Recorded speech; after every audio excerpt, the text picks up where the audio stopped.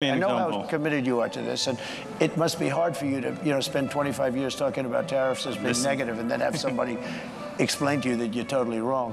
It'll have a negative. It will have. No, what's going That is to just happen? simple mathematics, President Trump. It's not. It's, yeah, it is, but not the way you figure it. I was always very good at mathematics. Yes. Let me tell you, you're saying three trillion.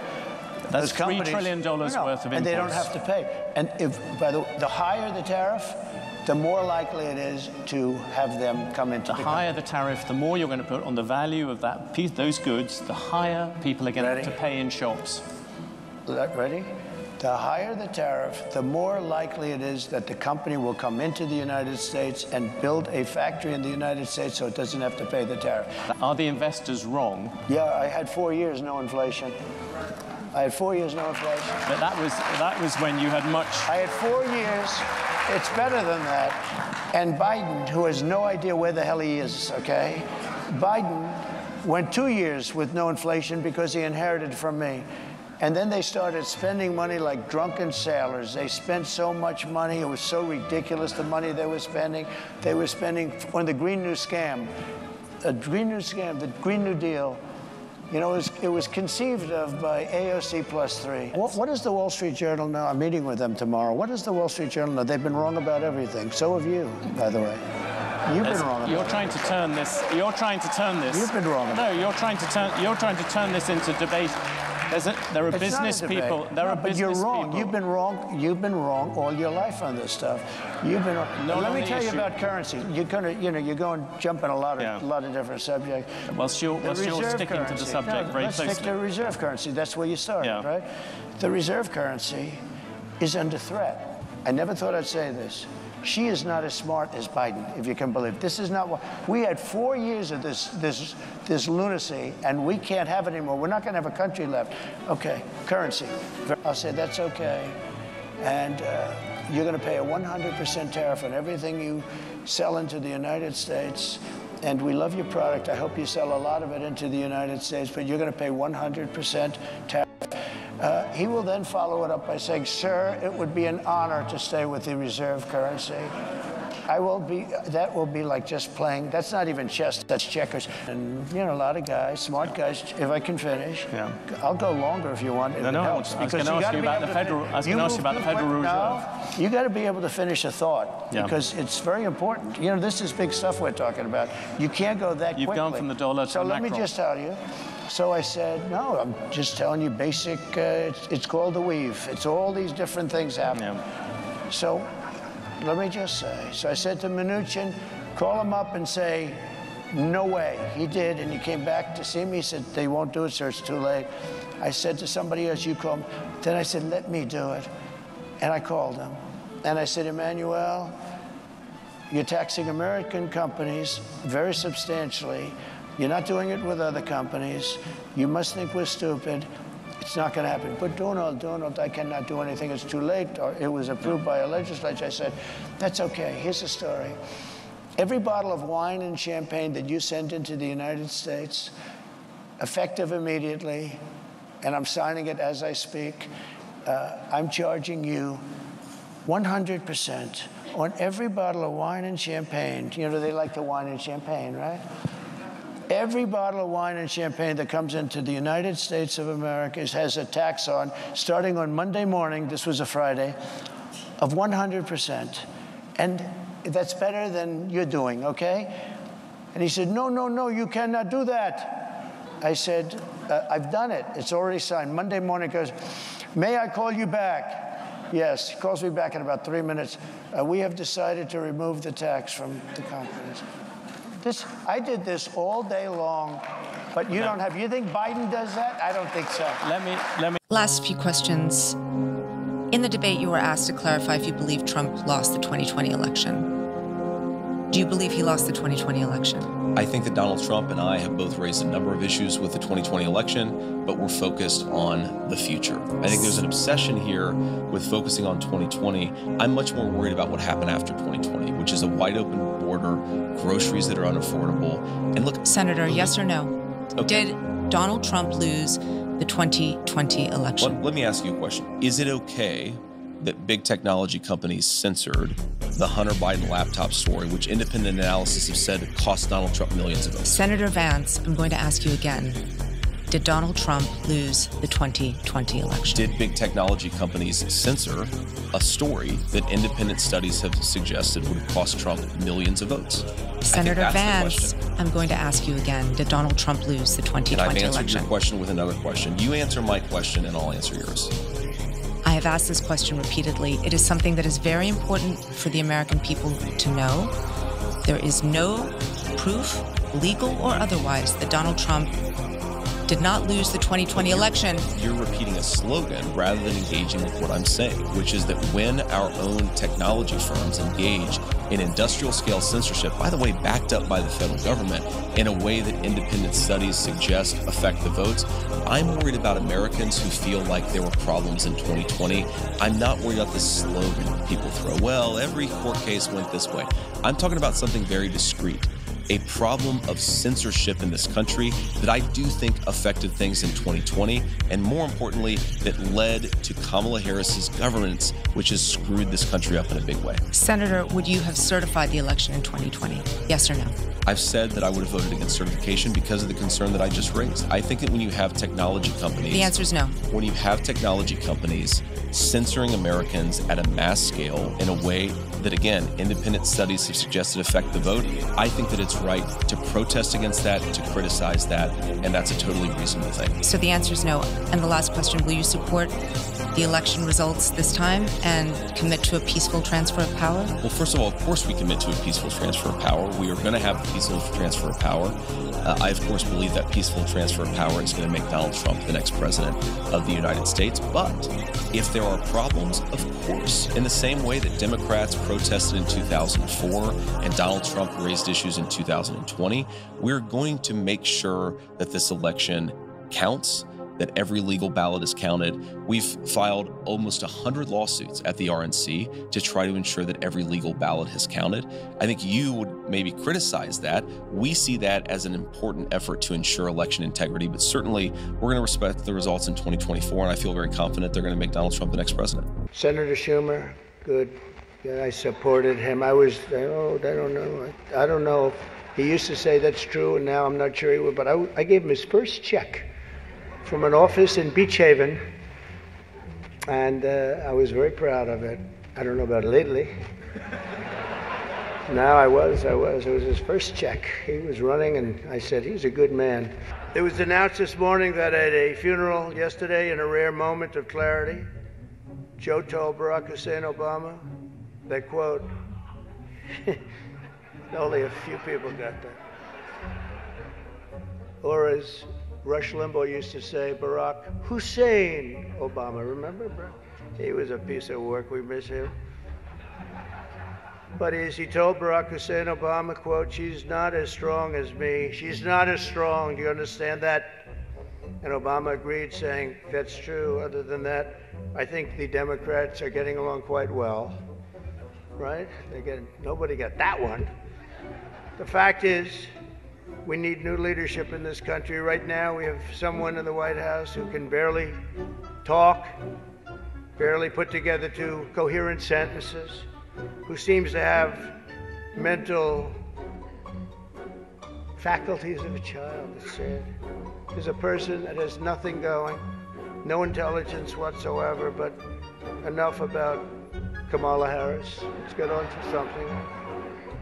I know Kamala's word because she spends a lot of time complaining. I won't agree to another debate. But the truth is, I've debated twice this year once against Joe Biden and once against David Muir of ABC. That was amazing, 11 times. None for the other side. Do you think that's fair news? I don't think so. That's fake news. I don't know what's going to happen three weeks from now. It's going to be uh, very interesting. It just started.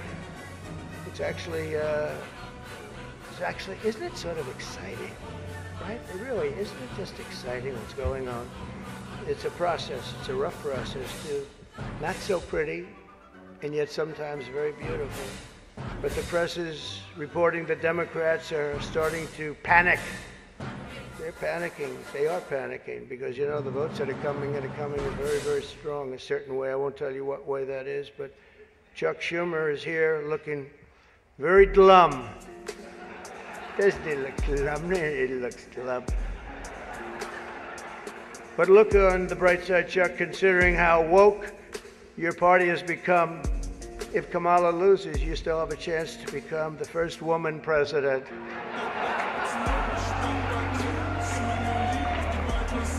And I actually said, Do you mind if I do that? He said, No, you gotta do what you gotta do. He's a pro, he's a professional. No, he's a good man, actually. I hate to say it. Don't ever use it against me, please. Don't say this dinner was really setting me back when I say. But I've known him a long time. There's a group called White Dudes for Harris. Have you seen this? White Dudes for Harris. Anybody know? Are, are some of you here? White Dudes for Harris doesn't sound like it. But I'm not worried about them at all because their wives and their wives' lovers are all voting for me. Every one of those people is voting. And as you may have seen, Kamala did an interview on Fox News yesterday. It went so poorly for her that the Democrats have been forced to install another 100 drop boxes throughout the city. And the upside really is Kamala now sees the benefit of deportation. She wants to deport people. She's vicious. She wants to deport people, and she wants to start by deporting Brett Baier, Fox. It's an interesting interview last night. Huh? A major issue in this race is child care, and Kamala has put forward a concept of a plan. A lot of people don't like it. The only piece of advice I would have for her in the event that she wins would be not to let her husband Doug anywhere near the nannies. Just keep them away. That's a nasty one. That's nasty. I told these idiots that gave me this stuff, that's too tough. Oh, I did, I did, you know, they told me the last time I did this, I was running against Crooked Hillary. And, I mean Hillary. No, I was running against Crooked Hillary and I did it, and I thought it was a roast. So I was told it's a roast. And I had the meanest guy you've ever seen write stuff up, and man, was the room angry. Even the cardinal remembers.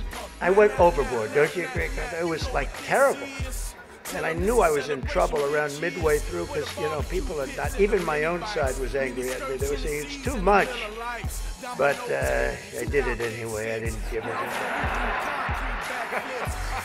Campaigning can take a toll on a family and family life, although I hear that Kamala and her husband carve out some really beautiful alone time at the end of the day for an intimate dinner, just Doug, her, and the teleprompter that she uses quite well. And by the way, she wouldn't have liked this tonight if she was told about no teleprompter. I can't believe I saw a teleprompter. They said they've never had a teleprompter in the history of this dinner. I told that to the cardinal, right? And then a teleprompter pops up. Uh, he must be a very important comedian to get that. They give you one, but not me. How about that one? Huh? Come here. Yeah, and you did a good job. Tradition holds that I'm supposed to tell a few self deprecating jokes this evening. So here it goes. Nope, I've got nothing.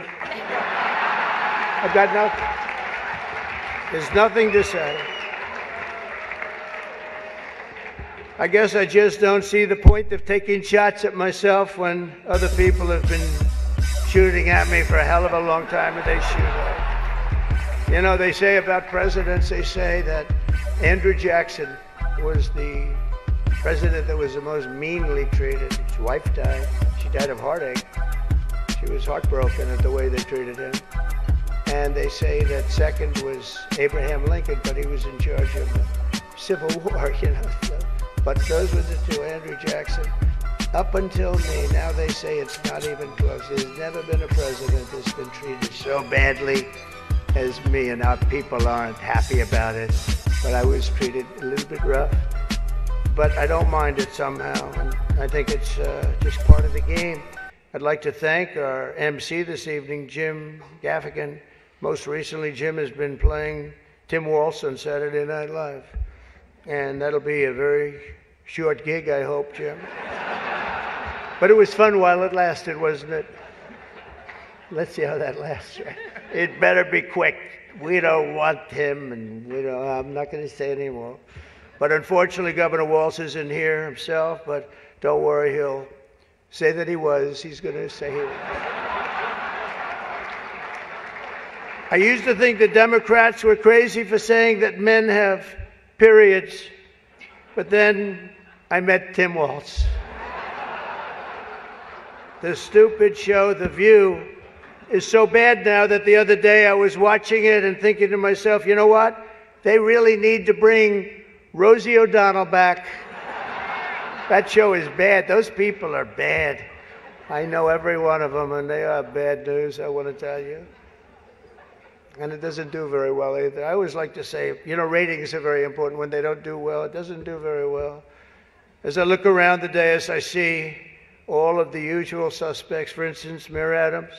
I'd like to poke some fun at Eric, but I'm going to be nice. I just want to be nice because I know what it's like to be persecuted by the DOJ for speaking out against open borders. We were persecuted, Eric. I was persecuted, and so are you, Eric. The mayor's dietary restrictions are well known, but I've got to say, I've never met a person who's a vegan who liked turkey so much. There's something about him with turkey. I just found that out today. You know, I haven't been in New York that much. Now, don't let it, but you're going to win, Eric. We have another former New York City mayor with us, frankly, easily the worst in our history. And it's not Michael that I can tell you. I'm surprised that Bill de Blasio was actually able to make it tonight, to be honest. He was a terrible mayor. I don't give a shit if this is comedy or not. He was a terrible mayor. He did a horrible, he did a horrible job. That's not comedy, by the way, that's fact. But unlike the rest of New York, at least Bill doesn't have to worry about the criminals. They owe him big. He let them get away with a lot of stuff. Well, I'd better wrap up because Mayor Adams told me earlier that I needed to make this one. Don't you, baby? The flow's insane and the stroke is crazy. I stroke so good like Tiger Woods, and I wow like a Tiger Woods. My livelihood is not Hollywood. I'm still Southside Atlanta. That's a livelihood. A circus, big top like Ringling Brothers. If you want to learn something, bring your mother. Sit back and observe. Invite your friends. We can mix it all up like and gin. Felly on the jelly with a couple of twins. Cause tonight, damn right, we gonna do it again.